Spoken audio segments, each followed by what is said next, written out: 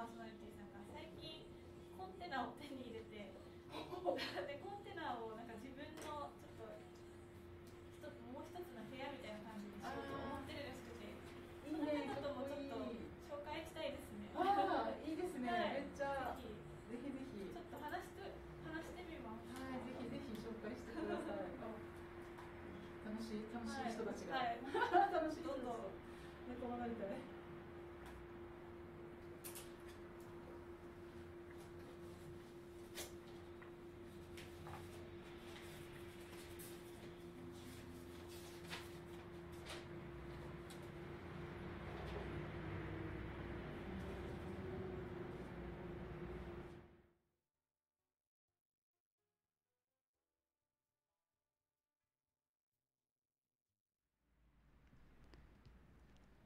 皆さんこんにちは。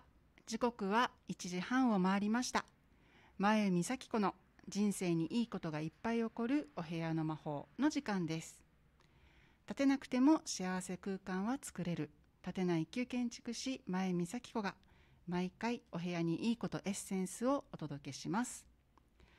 この番組ではメッセージを募集しています。メールアドレスは797アットマーク FM ギノワンドットコム。また FM ギノワンではツイキャスト YouTube ライブで映像と音声ネットを配信しています。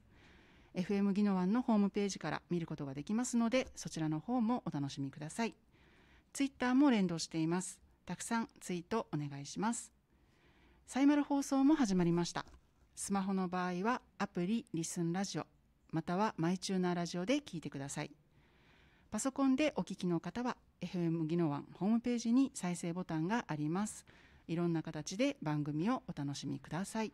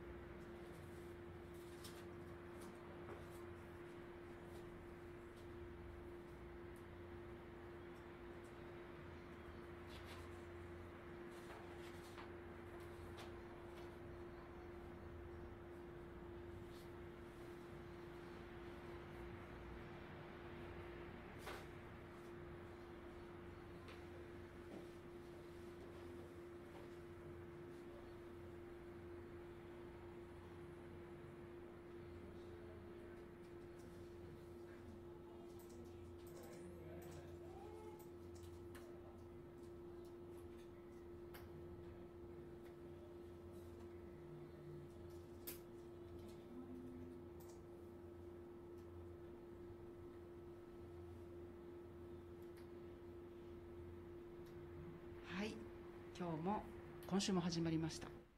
人生にいいことが起こるお部屋の魔法の時間です、よろしくお願いします。今日は爽やかですね。お洋服が。そうですね、はい。今日はちょっとあのムシムシしてたので、うん。はい。気持ち切り替えてはい。はい。女性っぽくしてみました。女性っぽくっておかしいですね。爽やかなワンピースみたいなもので。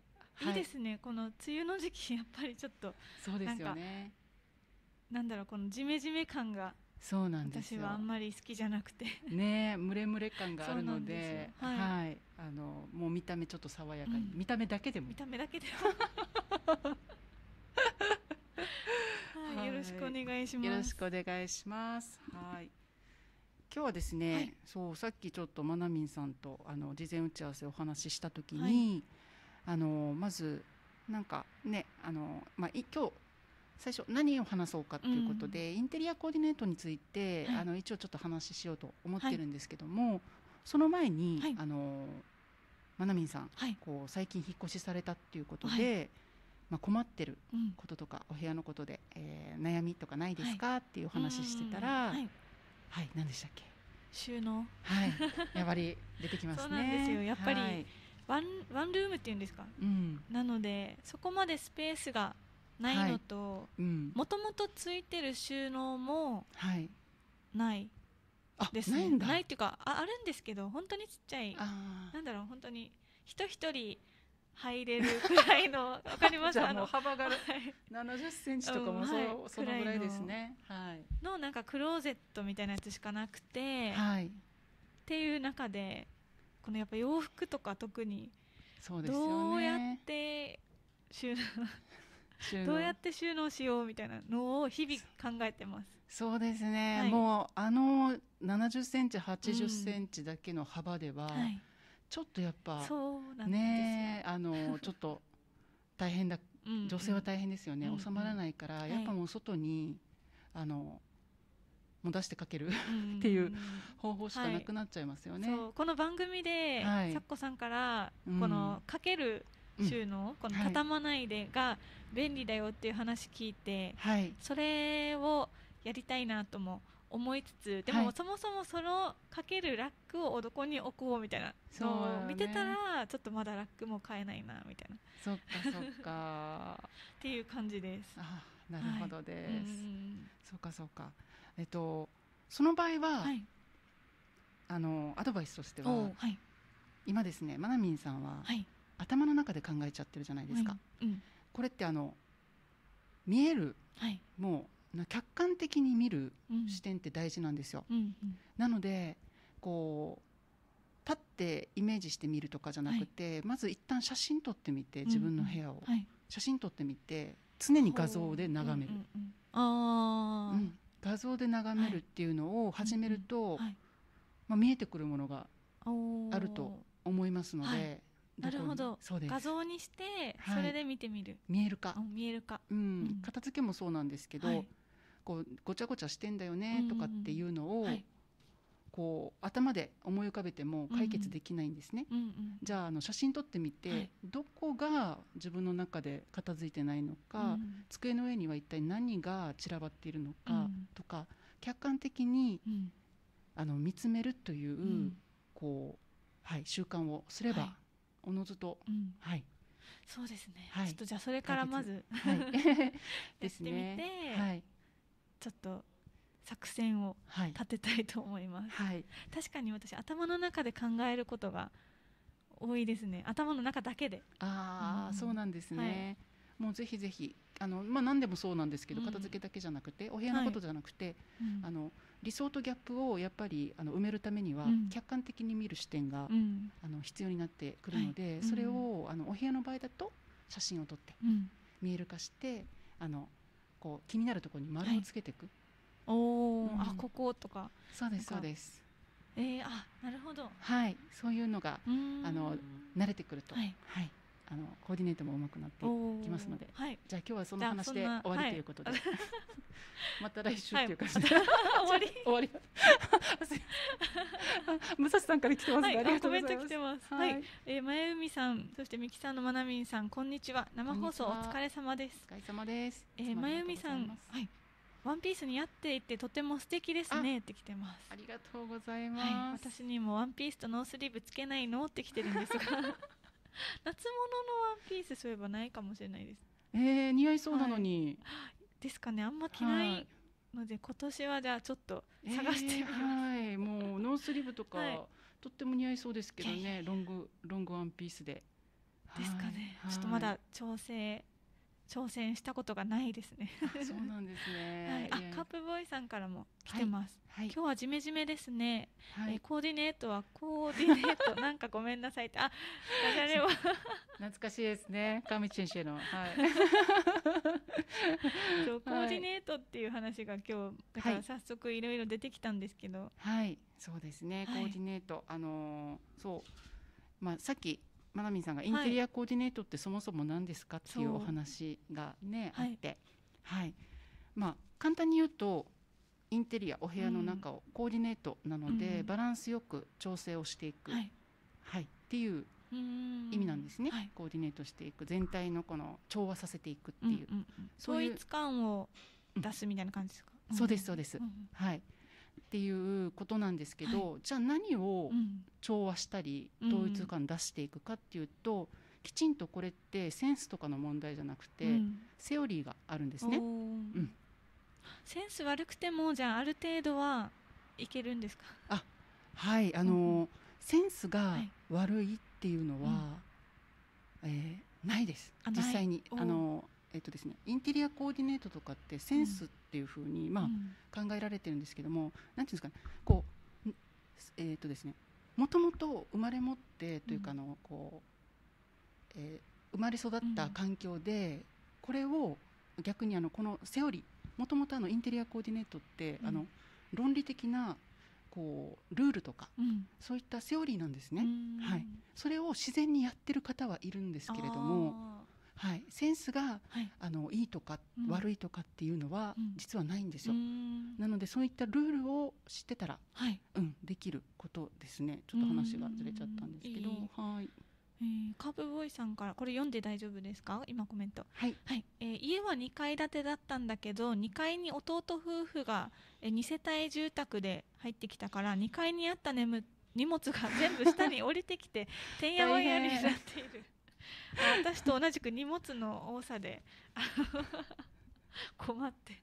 そっか2階にあった荷物が全部下に降りてきてうん。て、まあや屋根になっている。あまだ笑って笑いって書いてあるので。笑いがあるから大丈夫ですかね。うん、そうですね。まだあのカープボーイさん余裕がありますねこれ、うん。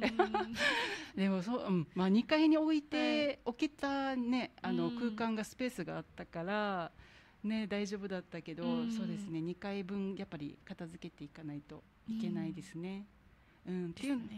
うん、っていうのと、まあはい。捨てられなかったら前も言ったんですけど、うん。あの月貸しのコンテナとかもありますのであ無理してー本当に。そこに、はい、あの捨てずにあのゆっくりうん。片付けていったらいいかなっていうふうに思ってます。はい。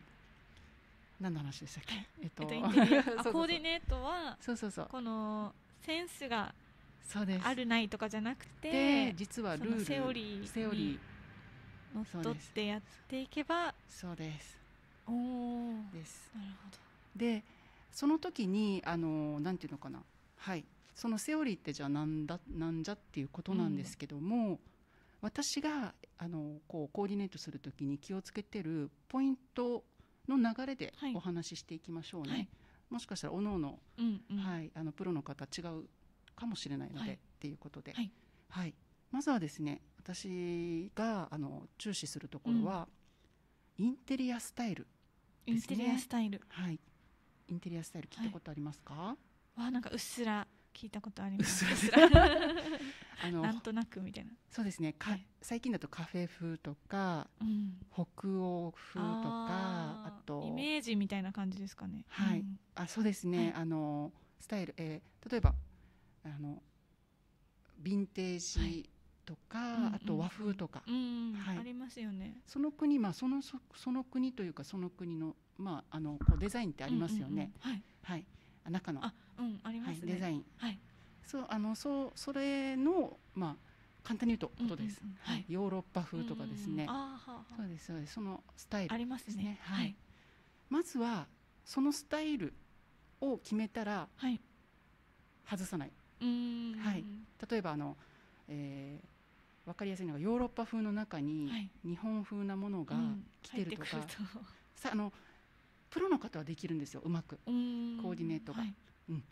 あのできるんですけども、うんうん。初心者の方はまずはあのミックス。うん、最近海外ミあのミックスとか流行ってて、できはするんですけども、ちょっと難易度が高いのうん。で、あのこう最初から始める人はあ初心者の方はうん。まずはインテリアスタイルを一つに決めていく、うんでそこからあの同じデザインとかは同じ色身から外さないっていうのが、んはい、ルールですね。っていうのと、はい。あと、まあ、おしゃれに見えるもしおあのお部屋がおしゃれに見える、ん。あのアイテムとしてはうん。ですね。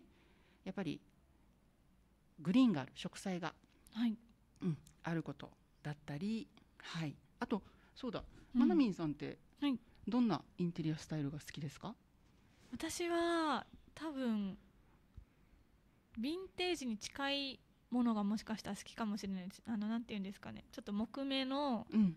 ちょっと黒黒めのウォールナットっていうかちょっと茶あの濃いブラウン。かはい。それこそ今あのまゆみさんが座ってるあのあ机のーこの机ね、はい、あフェミニュアンのちょうどこの。あの色合いとかが結構好きだったりそしたらなるほど、うんそしたらもうこのこの色に黒、はい。黒とかうんうんうん。ですね。そうですね。こうのん。木の色合いにはい。黒の組み合わせは結構好きかもしれないです。うん。そしたら、はい。そうですね。ヴィンテージスタイルだったり最近だとブルックリンスタイルっていうんですかね。なんかあのそういったいろんなあの、まあ、今ネットではい調べたら、うんうんインテリアスタイルって入れたらですねあーいろんなサイトが、はい。出てくるんですね。はい、出てきますのでル、はい。はい、その写真にはい。あのこう自分がいいなって思った、うん。はい、あのこう写真をはい。ピックアップしといてうんうん23枚ですね。その中でなんていうんですかね自分で考えるんじゃなくて、はい。初心者の方は最初はあのこの写真の中でうん。どこがいいなって思ったのか、ちょっと見つめながらはい。真似してっていいと思います。はい、もう写真とそれこそまるっきり真似するくらいの勢いでもう行っても大丈夫ですか？はい、うん。大丈夫です。あの真似してください、はい。そこからなんかみ、はい。や慣れていくとうんうん。だんだんだんだん、あの見えてくるものがありうん。あったりですね。あと、はい私がとってもやっぱりおすすめするのははい。真似していくと見えてくのがうん。色です、うーん。この色が色。はい。物をたくさん見ることによって、うんうこの色が何を使ってるとか、うん。あと、うん、どどれを組み合わせたらはい。い感じになるって、うん。やっぱりたくさん見ないとわからないんですね。うん。でその原点は真似する。はい。真似してみて実物見て、うんだんだんだんだんこう色だったりとうん。か、組み合わせだったりっていうのが分かってくるのでもし初心で初心者の方でコーディネートちょっと頑張りたいっていう方は、そこからもう真似するからスタートでいいかなと思っています。うん。はい。いいですね、はい。赤プボーイさんからこれは今わざと、あれかなヴィンテージに作ってるテーブルとか椅子あるよねっていうことかな？うんうんそうですね、そうですそうです。あのわざとこうはげあのなんていううんのかな、あありますよね。色味をはげさせたさりあの、うんねペイントをねはい。こうちょっとこの色落ちした感色落ちした感じとか。見せたりとか。ありますね。う。ん。はい、これもそうですよね。プリンプリントあ多分のはい。なんかあえてテちょっと。で、うん。はい。ちなみにさきこさんはどんなインテリアスタイルがあ。好きなんですか？はい、ありがとうございます。はいよくぞ聞いていただいて。い。えい私はです。気になる。あはい。はい、私はですね、木ナナチュラルモダンっていうスタイルなんですけども、はい。木もあのナチュラルな明るめの木うんはい。ですね、にモダンなので、うん。アイアンとか、うんうんうんうん。はい、あのなんていうのかな。モダン。モダンってあの都会的っていう意味なんですけども、ガラスまではいかなくてもそうですね。こうシルバーだったりとかなんかそういう、あの木と木と、うん。あのきっとこういうちょっと鉄鉄というか鉄鉄そうですね。鉄とかそういったものの組み合わせが好きです。うーん。もうなんあの私がもしお家建てる、はい。まだあの賃貸住んでるんですけど、うんうん。お家建てるんだったら天井ももう全部あの木を張っあてすごい、はい。で天井高くして、あのシーリングファンって言ってプロペラ、わかります？天井の。ありますよね。はい、風を、風通しを良くする。あの黒のアイアンの。アイアン系の。はい。ものがこうくはい。るくるくるくる回ってるうんみたいな、はい。はい、だけどこうあの周りはこうなんていうのかな自然のうん。雰囲気で、うんうん。インテリア植栽だったりグリーンだったりとか、うん。そういったのがもしゃもしゃもしゃもしゃ。すごいなんかいいですね。はい、あるような感じですね。はい、あ、カーブボーイさん。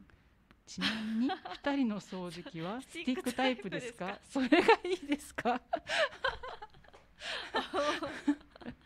えあーどうであ私今掃除機は実はなくて、うんうんあのあれでやってます。クイックルワイパーあとコロコロ、ー、うんうんうんをうん、そうあの常備しといてはい、やってます。あいいですね。一人暮らしだから、あそうそうそう、うん。そこまで広くもないので、掃除機するほどではないというか。確、かに。うんいいとうん、思います。どうですか掃除機、私ですね、はい。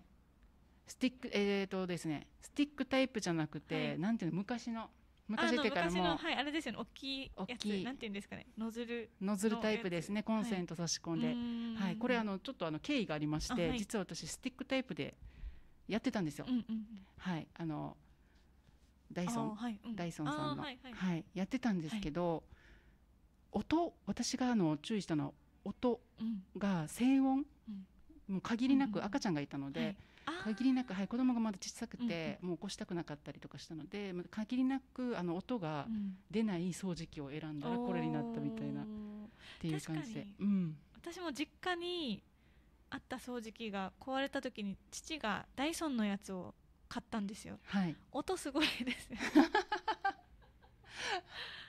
ちょっとびっくりしちゃう音だっそうですねでも使い勝手的には、はい。あのカープボーイさんうん。スティックタイプがいいと思いますよ、うん。ああの人の性格にもよるんですけど充電はい。がこまめにできる人はうんうん。スティックタイプ、ああなるほど、うん、もうやっぱりいろんなところ細かいところを、あのコードとかがね関係なしで、みたいなそう関係なしで、うんうん。あの掃除機かけられたりするので、うんうん。すっごい便利だと思います。それは便利かもしれないですね。はい。うんもうあのなるほど。人によってはお金まあ気にしない人によっては、場所？なんていうのかな？リビングにはい1台とか、2階に1台とかそうそうそうあの場所ごとに置いてある人とかもいるぐらい、はい、はい。ノズルタイプが呼び方エレファントタイプって言うんよだえー、知らなかった。そうそうそうそうですそうです、そのへエレファントタイプが。うん。私あの今それ使ってて音があんまり出ない掃除機ー使ってます。はい。なので夜中もやってます。とかね、は そうそうライフスタイルによるかも、うんうんううん。ん。あそうですね。うん。掃除機。はい。はい。面白い掃除機の話も。で。でも掃除機とかちなみにでも、あのやっぱああいうのこそ生活感が出てしまうじゃないですか。はい、だから今のこういうインテリアスタイルとかうんをもしこうしたいって思っても、それにそうですね。なんかそこに掃除機が入るとそうですなんねちょっと一気に生活感増しちゃうのかなって思ったりしましねた。うん。なのでダイソンさんがすごいのは、うん。やっぱりあのなんていうのかな、まあ、色はなんか紫とかかうんな、ありますよね。ありますけども、この収納する形はかっこいいですよね、うん。あーうんおしゃれですよねおしゃれです確おしゃれです。はいあんな感じで立ててたらうん。インテリアの一部にもなるのでうんうん。うんあのスティックタイプもしはいあの不都合なければ私も本当はスティックタイプがいいなってはい理想です理想。うん。なるほど。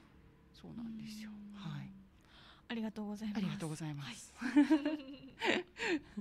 でえーっとどこどこまで話しましたっ えっとですね。けはい。えー、あインテリアスタイルでしょ、はい。ああと何分あります？あと4分。あはい。はい。でそうグリーン。はい。グリーンでそう私も好きで、はい、ただ育てられると育てられないってあるので、はい。うんまあね人によってこれもね、うん。あのまあ価値観が、うん。うん、あ価値観というかライフスタイルが、はい。はい出てくるんですけどもあとは照明ですね。結構皆さん忘れがちなんですけど、はい。あの今あアパートとかあの、ね、引っ越してくるとこう天井に1個白い光の、うん。うんうん。ねあのものがありますよね。ものがはい。こうポツンとあるじゃないですか、それってやっぱりこれだけでどんなにインテリアスタイルをかっこよくしてもこの光だけでアウトなんですねうん実は。なので何をするかというと、まあ、消した状態、まあ、いろんなシーンをうん。イメージして、うん。例えば今ちょっとお酒飲みながらくつろぎたいっていう時には、うん。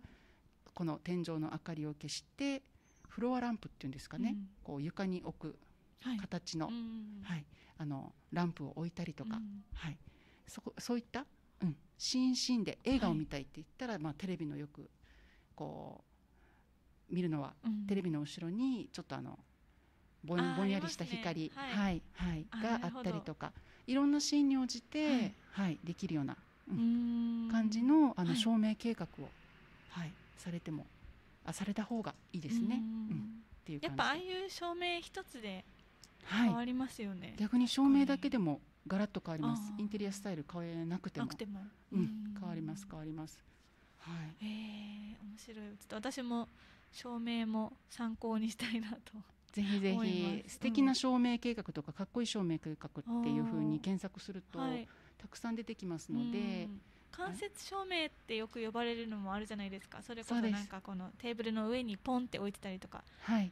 ベッドの横にとか、はい。ああいうのおしゃれですよねやっぱりちょっと。そうですね。私ちょっとリラックスできる感じもあります。うん。いいですね。はい。アロマとかでも最近なんか光りながらこうアロマうんうんうん。ね、あのディフューザーで。ありますね。あれもいいと思いますね。うん。はい。雰囲気的に。はい。うん。ですです。あさっきの番組でトッコさんが言ってたタイマーで電気をつけたり消したりできるやつがあるのかな今現在ってありますあります。うんもう今の電気なんてもうもうハイテク化してて。すごいですよね、はい。リモコンなんかたくさんなんかボタンがありすぎて私も。明るさ調節とかもできますからね はい。ありますあります今現在も。うんううんん。ですです。いやすごい。まだまだ聞きたいこともたくさんあるんですが。そうですね。はい。お時間とが。なってきましたね。はい。うん。ありがとうございます。はい。じゃあまた来週はい。インテリアのお話やら。そうですね、はい。引き続きなんかインテリアのお話こんな感じでゆるはい。くできたらいいなと、うんははい。い、皆さんからもぜひお悩みとかあればそうですコメントねで教えていただければと。お最後にカンパチさん。チさん。あ100均の伝統も案外いいよって。あおはいありがとうございます。そうですよね。はい。もう100均も本当充実していて、はい。初心者さんはうん。もうおすすめですよ。そういったアイテム、うん、100見るのも。均、うん。ぜひ皆さん活用してみてはいかがでしょうか、はい。まずはもうたくさん商品見てください、そうですね。はい。うーんという感じで。はい。ありがとうございました。じゃあまた来週もよろしくお願いします、はい。ありがとうございます。あーなるほどティーサ